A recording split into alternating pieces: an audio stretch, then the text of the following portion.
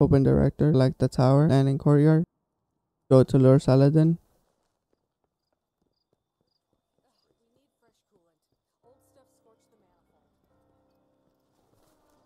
Talk to him, get all the bounties. There's only four bounties. All the bounties are just to defeat opponents. This bounty is to defeat opponents while assisted by at least one other teammate. This bounty is defeat opponents while your team holds zone advantage. Earn bonus progress during the hunt. That means when you get triple cap. This bounty is defeat opponents with final blows from any ability. Earn bonus progress for super and opponents with a higher power level. This bounty is defeat opponents in the Iron Banner. Earn bonus progress by landing final blows on opponents with a higher level. Each bounty grants pinnacle gear. And you have completed the Iron Banner banner bounties, don't claim them. Wait until the season of the chosen ends, which is in 26 days, to claim the Iron Banner bounties. Because once you claim the Iron Banner bounties in the new season, you will get new Iron Banner armor and new Iron Banner weapons. You can do this on all three characters if you have them, meaning that you will have 12 chances in getting new Iron Banner armor and new Iron Banner weapon when the new season starts. So if you have three characters, go and do the Iron Banner bounties while Iron Banner is active right now, and don't claim them until the new season starts